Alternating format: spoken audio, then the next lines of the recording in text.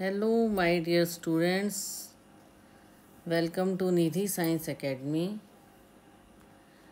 आज हम पढ़ेंगे fundamental concepts in organic reaction mechanism okay हमने अब तक पढ़ा था आइसोमरिज्म अब हम पढ़ेंगे fundamental concept in organic reaction mechanism okay क्या होता है ऑर्गेनिक रिएक्शन में? रिएक्टेंट्स होते हैं और प्रोडक्ट बनता है, ठीक है? जैसे कि ये ऑर्गेनिक मॉलिक्यूल सबस्ट्रेट है ओके फिर उसके साथ अटैकिंग रिएजेंट है है ना? रिएजेंट री अटैक करेगा उसके ऊपर, वो भी रिएक्टेंट है। तो क्या बनेगा? एक इंटरमीडिएट बनेगा। इंटर मीडिएट बनेगा। और उससे क्या बनेंगे? Products products and by products उससे क्या बनेंगे? प्रोडक्ट्स एंड बाई प्रोडक्ट्स तो ये हमारा फंडामेंटल रिएक्शन है कि कार्बन नए बॉन्ड बनाएगा दूसरे रिएक्टेंट के साथ और एक नया बॉन्ड बना के उसमें प्रोडक्ट्स और बाई प्रोडक्ट देगा। ऑर्गेनिक रिएक्शन में क्या होता है कि कोवेलेंट बॉन्ड होते हैं ना दो कार्बन एटम के या दूसरे अदर कार्बन एटम के, वो ब्रोक होके, वो टूट कर नया बॉन्ड फॉर्मता है है ना? नया बॉन्ड फॉर्म होता है। डिटेल स्टडी किया stepwise description of a reaction जैसे स्टेप वाइज क्या होता है? इलेक्ट्रॉन का मूवमेंट होगा, एनर्जीज का मूवमेंट होगा, बॉन्ड ब्रेक होगा, बॉन्ड फॉर्मेशन होगा, है ना? तो रिएक्टेंट ट्रांसफ़र इनटू प्रोडक्ट इसको बोलते हैं रिएक्शन मैकेनिज्म इसको बोलते हैं हम रिएक्शन मैकेनिज्म जिसमें क्या होगा? जो रिएक्टेंट है वो प्रोडक्ट में कन्वर्ट होगा बॉन्डिंग से रिएक्टेंट प्रोडक्ट में कन्वर्ट होगा। रिएक्शन मैकेनिज्म बेसिक थिंग यही है ना? ऑर्गेनिक जो होते हैं reaction involve making and breaking of covalent bond ठीक है? मेकिंग और ब्रेकिंग ऑफ़ इसमें हम पढ़ेंगे fission of a covalent bond fission of a covalent bond अब fission of a covalent bond में क्या होगा? हिटेरोलाइटिक फिजन इसमें भी दो टाइप के होंगे। पहला होगा फिजन मतलब एक क्लीव से दो पार्ट में डिवाइड होना, है ना?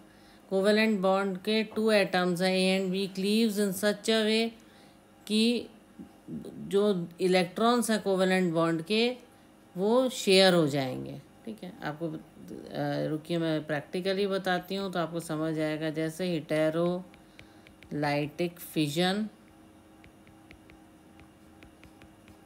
और इसको हम ये बोलते हैं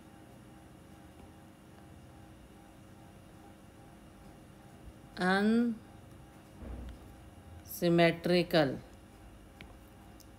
अनसमेट्रिकल फिजन भी बोलते हैं।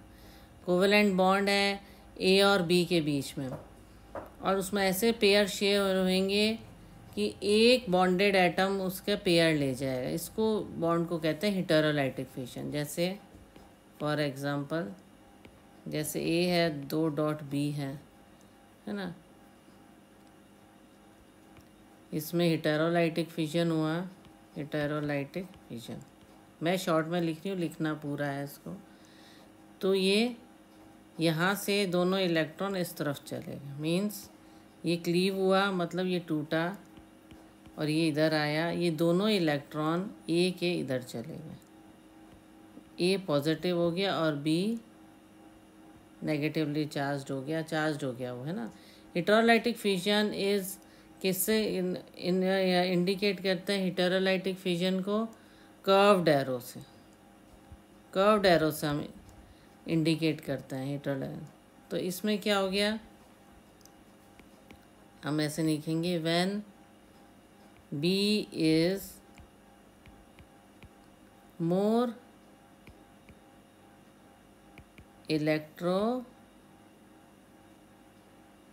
electronegative than A B ज़्यादा इलेक्ट्रोनेगेटिव हो गया है ए से, है ना? इलेक्ट्रोनेगेटिव हो गया। ऐसे ही, ऐसे इसका अपोजिट भी हो सकता है कि यहाँ से इधर चले गए और हिटेरोलाइटिक फिजन हुआ इसमें। तो क्या हुआ?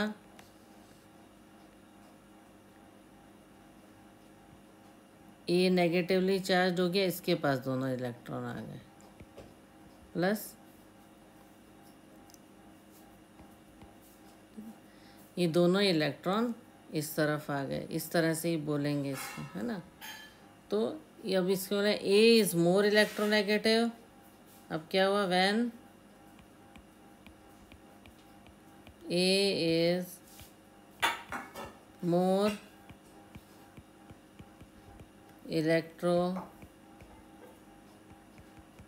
electronegative than B ठीक है, इसमें ए इलेक्ट्रोनेगेटिव हो गया क्योंकि उसके वो ज़्यादा चार्ज हो गया। उसके पास इलेक्ट्रॉन आ गए बी के इलेक्ट्रॉन जब ए के इलेक्ट्रॉन बी के पास चले तो बी इलेक्ट्रोनेगेटिव हो गया। है ना? एस शो नबाव जैसे हमने, अब यहाँ पे हम लिख सकते हैं as shown above heterolytic fission क्या होता है? चार्ज स्पीसीज बनाता है। चार्ज स्पीसीज मतलब कैटायंस एंड एनायंस क्या बनाता है?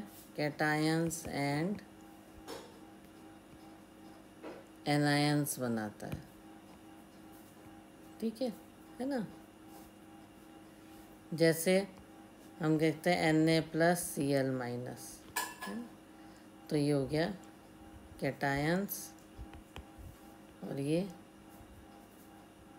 एनायंस जब ये एक दूसरे को इसमें ये, इसको एक इलेक्ट्रॉन चाहिए, इसको एक इलेक्ट्रॉन चाहिए।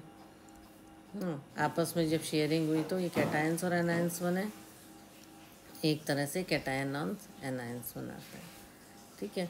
तो जब ये कैटायंस ये देगा इसको एक इलेक्ट्रॉन तो ये पॉजिटिव हो जाएगा और इसको मिलने से ये इलेक्ट्रोनेगेटिव हो जाएगा क्लोराइड जो है। तो इस तरह के just for example cations anion समझाने लिया है बाकी ये हमारा हिटेरोलाइटिक फिजन इस तरह से होता है, जिसमें एक जो एटम है, दूसरे को पूरी तरह से बॉन्डिंग बनाते हुए दूसरे को सारे के सारे अपना शेयर दे देता है दूसरे एटम को। ओके ये तो प्रॉपर शेयरिंग है। इसने भी दिया, इसने भी दिया, बराबर शेयरिंग है ये तो। कि जस्ट कैटायन एनायन समझाने के लिए मैंने कहा। ठीक है तो इस तरह की बॉन्डिंग को हिटेरोलाइटिक कैटायंस और एनायंस किस लिए बताया आपको? जिससे पता लगे कि चार्जिंग जब होती है तो कैटायंस और एनायंस बनते हैं। जब बीचा इक्वली शेयर हो अनइक्वली शेयर हो तो भी। ओके